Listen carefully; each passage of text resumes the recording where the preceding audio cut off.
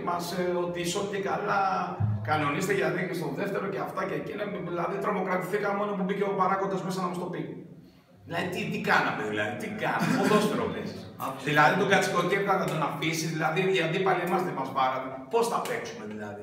Μην ακουμπάτε, λέει, τους παίκτε, μην κάνετε, μην ράνετε, μην δείχνετε. Και στο παραμικρό έδινε, δεν μπορείς να μαρκάρεις. Πώς να παίξεις ποδόσφαιρο, πείτε μου.